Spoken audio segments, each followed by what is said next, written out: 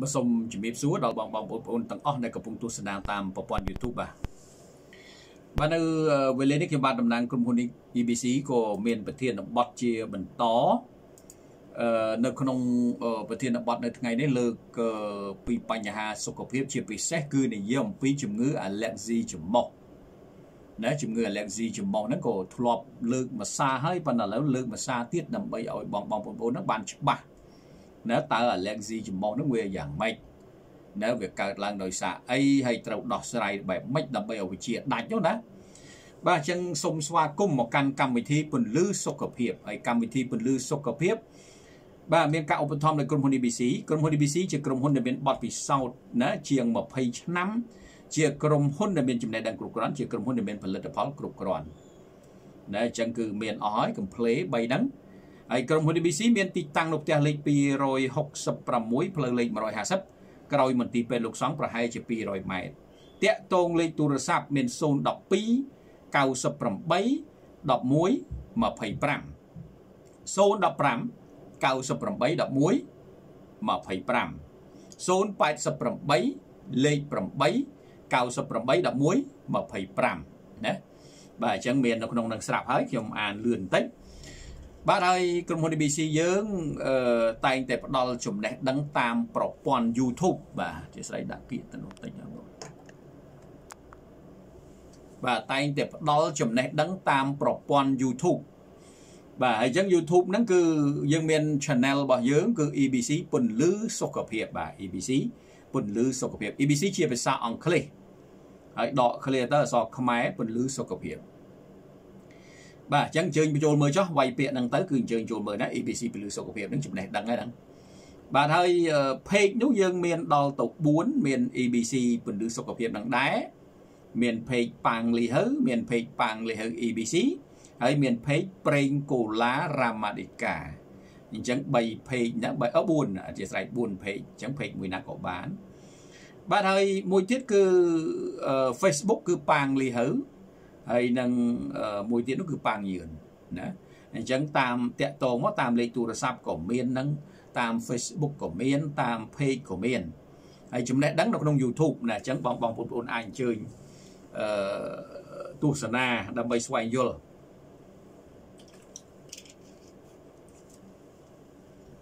បាទអឺជំងឺ allergy ច្រមុះ ដែលដែលយើងហៅថា rhinitis rhinitis ណា allergy ច្រមុះអញ្ចឹង allergy ច្រមុះហ្នឹងក៏ធ្លាប់ដឹងធ្លាប់ឮហើយនៅខ្ញុំបាទក៏លើកប្រធានបទនេះសារជាថ្មីម្ដងទៀតឲ្យបងបងប្អូនបានយល់បាទរឿង allergy ច្រមុះហ្នឹងអញ្ចឹង allergy ច្រមុះជាប្រភេទជំងឺដែលមានប្រតិកម្មកើតឡើងបង្កឲ្យតឹងច្រមុះហៀសបោកដាស់និងរមាស់ច្រមុះធ្វើទុកដល់ភ្នែកដល់ក្បាលឡាក់ ឃើញទេ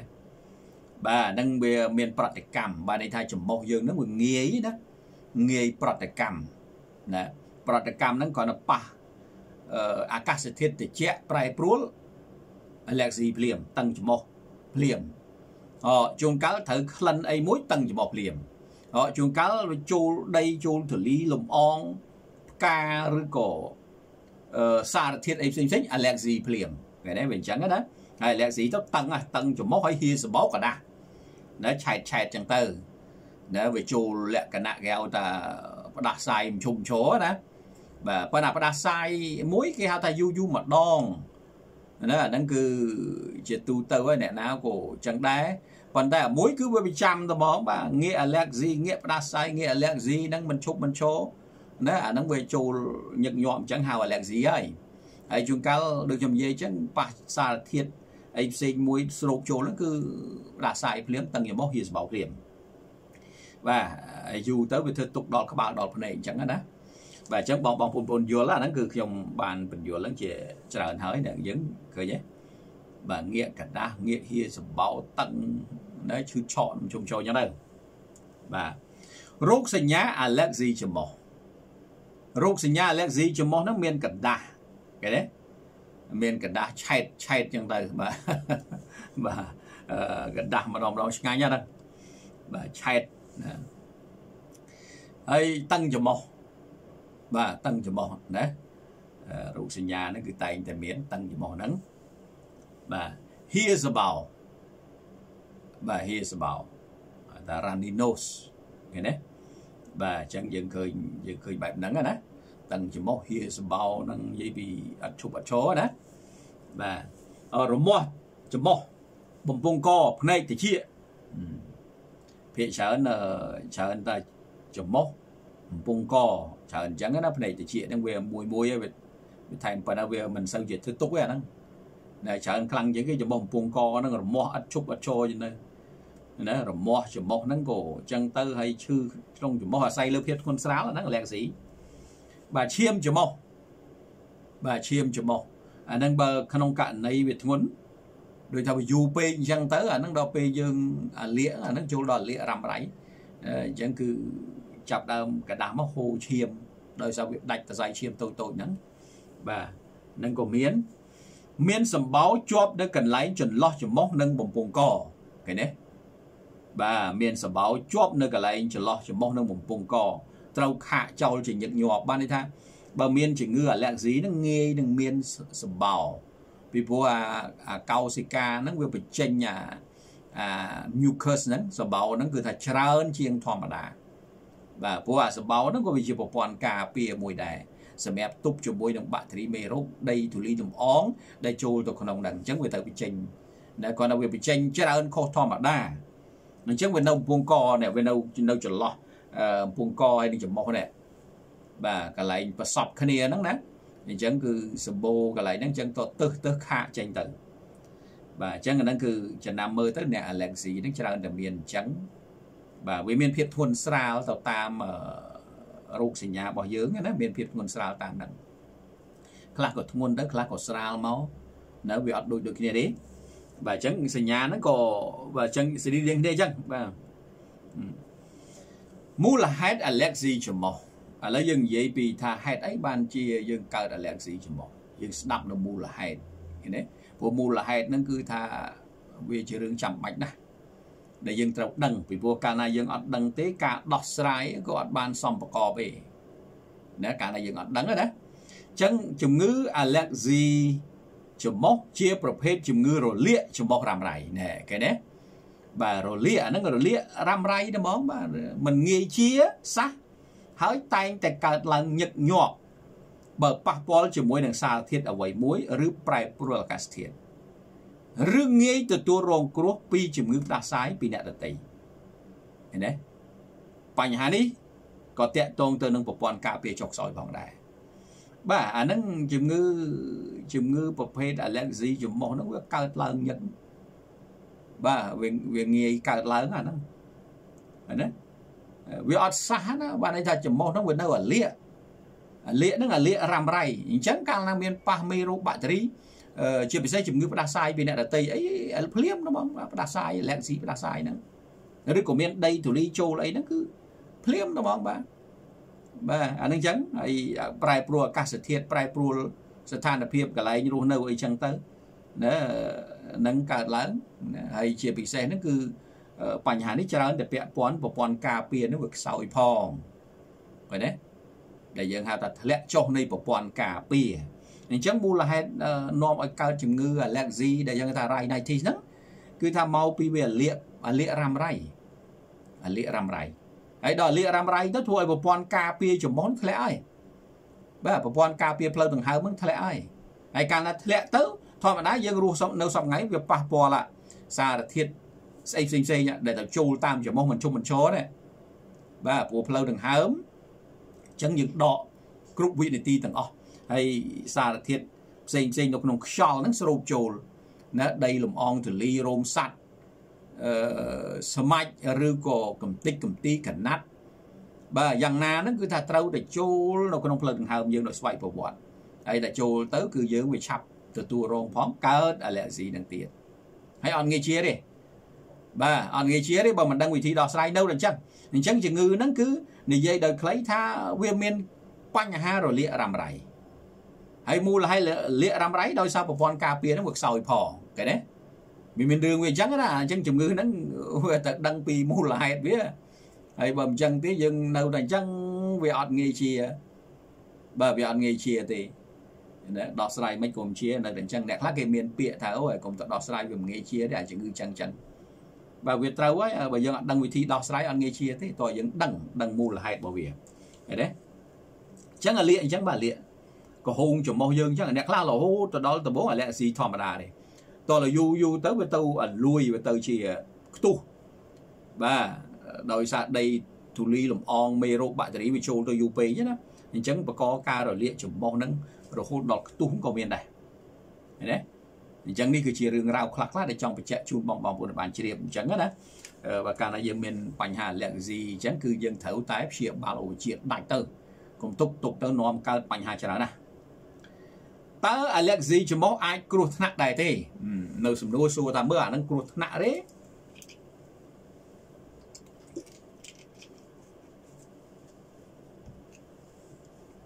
សាអង់គ្លេសបាទ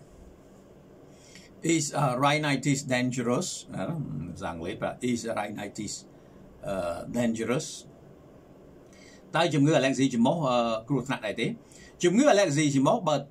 នព្យាបាលឬក៏ព្យាបាលមិនត្រូវ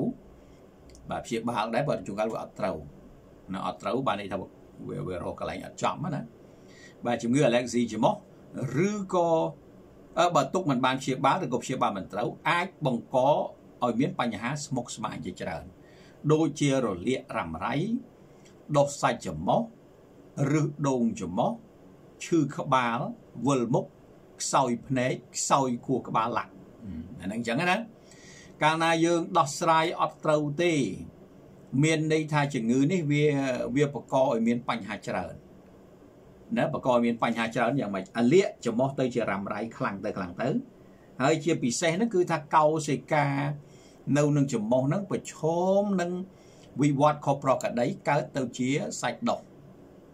ណានៅនឹងចំមុះហ្នឹងឬក៏សាច់ដុះហើយអាលួយទៀតដែលយើងហៅថាឬដូងចំមុះណាពាក្យថាឬដូងចំមុះហ្នឹងឬដូងឬដូងគឺសាច់ហ្នឹងដោយសារអីវាមើលទៅវាដូចឬដូងយើងធម្មតាហ្នឹងឬឬដូងដែលមានផ្លែហ្នឹងឬដូងយើងដែលស្គាល់ក្រហមក្រហមអញ្ចឹងដោះមកពកនៅគល់ដូងគេណា មិនហៅថារឹដូងរឹដូងនោះប្រៀបអាសាច់ច្រមុះដូចអញ្ចឹងហើយហើយលួយទៀតនៅក្នុងច្រមុះលួយទៀតអញ្ចឹងរលាករ៉ាំរ៉ៃដោះសាច់ច្រមុះឬដូងច្រមុះឈឺក្បាលហើយអញ្ចឹងឈឺក្បាលអាចឹងហើយអ្នកខ្លះឈឺក្បាលជាច្រើននឹងមិនដឹងថាមកពីរឿងអីមកពីរឿងអាឡែកស៊ីច្រមុះនឹងឯងណារ៉ាំរ៉ៃយូរពេករឿងអីដែលមិនឈឺក្បាលឈឺក្បាលវិលមុខណាអានោះស្អាតត្រូវហើយខ្សោយភ្នែកស្អាតត្រូវហើយខ្សោយគួរក្បាលខ្សោយការចងចាំ បាទរហូតទៅដល់ស្អុយចំោះទៀតអាហ្នឹងវាអាស្រ័យលើធ្ងន់ធ្ងរអ្នកខ្លះរហូតដល់ស្អុយទៀតដោយសារវាលួយបាទវាលួយកោសិកានឹងចំោះហ្នឹងដោយសារដុសចិត្តពេកហើយយើងក៏មិនបានទៅដោះស្រាយកាត់អីចឹងទៅណាអញ្ចឹងទៅជាលាកទៅជាលួយស្អុយហ្នឹងចំោះហ្នឹងបាទនឹងចង់បញ្ជាក់ជូនបងបងប្អូនបានជ្រាបអញ្ចឹងអញ្ចឹងហើយរឿងបញ្ហា allergy ចំោះនេះអាចគ្រោះថ្នាក់ទេអាចដែរព្រោះវាហ្នឹងវាមានបញ្ហាស្មុគស្មាញបន្តទៀត នៅពេលដែលយើងអត់ជាហើយចេះតែយូរយូរទៅនឹងអាចដែរណាបាទអ្នកអញ្ចឹងគេណាបាទហ្នឹងអាឡែកស៊ីទៅជាចំមុះហ្នឹងក្នុងហ្នឹងវាបាទឥឡូវចូលទៅដល់ចំណុចព្យាបាលមិនវែងទេបាទប្រធានបទខ្លីនេះមិនវែងទេបាទប្រធានបទមួយនេះអឺអ្វីដែលចង់លើកមកសំខាន់នេះគឺតកតងទាំងការព្យាបាលពីព្រោះជាទូទៅយើងឃើញហើយថាអ្នកដែលកើតជំងឺអាឡែកស៊ីចំមុះហ្នឹងគឺថាគាត់ រកវិធីរកវិធីដាក់ដោះស្រាយអត់ចេញអីវិធីដោះស្រាយនោះអត់ពិបាកទេស្រួលបំផុតក្នុងការព្យាបាលប៉ុន្តែស្រួលយ៉ាងណាក៏ដោយវាត្រូវការពេលដែរតែចង់និយាយថាវាមិនស្មុគស្មាញវាមិនពិបាកបាទមកពីយើងរកវាអត់ឃើញដល់រកអត់ឃើញហើយមិនដឹងថាតើត្រូវព្យាបាលរបៀបម៉េចយើងត្រូវដឹងថាចេះអឺ Alexi ចំមកបានន័យថាលាកជាធំអានឹងរឿងជាធំអាលាកគេណា ហើយតាមពិតរាងកាយរបស់យើងវាត្រូវផ្សះដោយខ្លួនឯងបាទរាងកាយរបស់យើងមួយមួយត្រូវផ្សះដោយខ្លួនឯងដោយស្វ័យប្រវត្តិមកអត់ពិបាកទេប៉ុន្តែដោយសារវាអត់ផ្សះបានដោយសារអីដោយសារតែសមត្ថភាពរបស់រាងកាយហ្នឹងវាធ្លាក់ចុះដល់អញ្ចឹងវាអត់អាចសះបានទេបាទវានៅតែអញ្ចឹងនៅតែយ៉ាងច្រើនផ្សះតិចទៅអីឈឺមកវិញផ្សះតិចឈឺវិញណាយើងពឹងទៅលើរាងកាយយើងសុទ្ធសាធអត់បានពឹងទៅលើរបស់ស្អីផ្សេងដើម្បីជួយកម្លាំងផ្សះនៅឲ្យខ្លាំង ដូច្នេះណាវាមានការរលាករ៉ាំរ៉ៃមិនឈប់មិនឈរនៅមិនឈប់មិនឈរជាក់ស្ដែងទៅជាជំងឺអាឡែហ្ស៊ីចំពោះនឹងឯងអាហ្នឹងទី1គេណានិយាយថាដឹងអញ្ចឹងអចំណុចទី2ហ្នឹងគឺប្រព័ន្ធការពារយើងធ្លាក់ចុះខ្លាំងណាស់បាទប្រព័ន្ធការពារយើងធ្លាក់ចុះខ្លាំងកាលណាប្រព័ន្ធការពារយើងធ្លាក់ចុះខ្លាំងការប្រឈមមុខជាមួយនឹងសារធាតុគ្រោះថ្នាក់ផ្សេងផ្សេងរួមជាមួយនឹងបាក់តេរីមេរោគវីរុសផងនោះអាហ្នឹងប្រព័ន្ធការពារយើងទប់អត់ជាប់ទេយើងងាយឆ្លង យើងងាយឆ្លងយើងងាយកើតជំងឺណែកើតជំងឺប្រភេទ allergy អញ្ចឹងអញ្ចឹងដូច្នេះការដោះស្រាយទៅវិញដាច់ខាតគឺត្រូវផ្ដោតទៅលើការផ្សះផ្សះហ្នឹងគឺផ្សះយ៉ាងម៉េចផ្សះហ្នឹងមិនមែនសំដៅទៅលើការប្រើថ្នាំឱសថសម័យទេសំដៅទៅលើការជួយរាងកាយហ្នឹងគឺថាឲ្យវាមានកម្លាំងផ្សះដោយខ្លួនឯងអាហ្នឹងអញ្ចឹងណាណា សំដៅទៅលើអញ្ចឹងអានឹងមិនបានពីព្រោះកម្លាំងផ្សះរាល់ថ្ងៃយើងមានរួចស្រេចហើយតាប៉ុន្តែវាអត់គ្រប់ឧបមាថារលាកហ្នឹងវាត្រូវការផ្សះប្រមាណឧទាហរណ៍កម្រិតផ្សះហ្នឹងគឺត្រូវ100អឥឡូវយើងបានការផ្សះពីរាងកាយបាន30% 20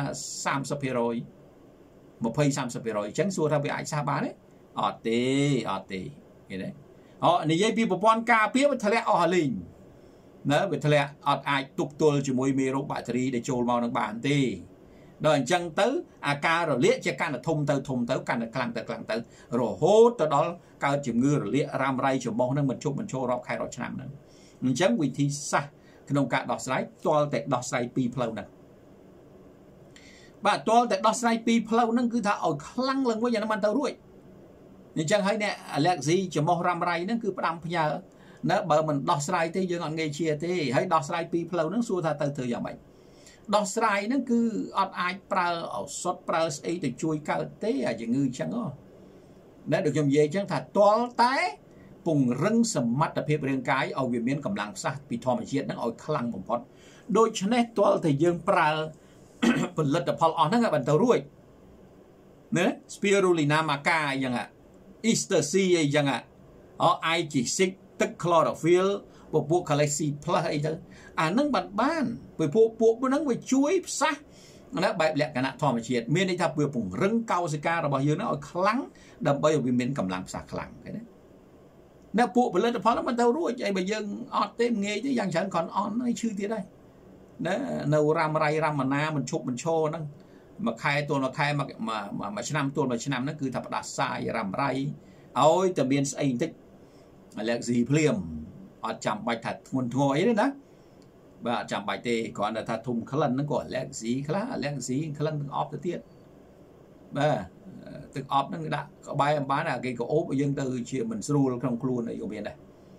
បាទអត់ដីធូលីក្លិននេះក្លិននោះនៅសារធាតុផ្សេងផ្សេងដែលស្រូបចូលទៅក្នុងខ្លួនហ្នឹងគឺថាយើងងាយនឹង allergy បំផុតបាទអាហ្នឹងគឺយើងអត់ងាយជាទេដូច្នេះដើម្បីឲ្យជាទាល់តែពឹងពួកផលិតផលអស់ហ្នឹង ដាក់ឲ្យដល់កម្រិតមែនតើគឺជាហើយព្រោះក្បត់ប្រសពជាបាលនឹងយូរឆ្នាំហើយណាសម្រាប់បងបងប្អូនប្អូនដែលមានបំណងចង់ជាហ្នឹងគឺប្រើឲ្យដល់កម្រិតជាហើយគ្រាន់តែថាវាអាចយូរអាចឆាប់អាហ្នឹងអាស្រ័យលើរាងកាយបើសិនជាយើងប្រើបានក្នុង4 5ខែឲ្យជាប់អាហ្នឹងយើងជាពិតប្រកបដែរជាដាច់តែមកខ្មែរជាដាច់ឲ្យដល់កម្រិតណាបាទអញ្ចឹងហើយនេះគឺជាការណែនាំពីខ្ញុំបាទដែលជាតំណាងក្រុមហ៊ុន ABC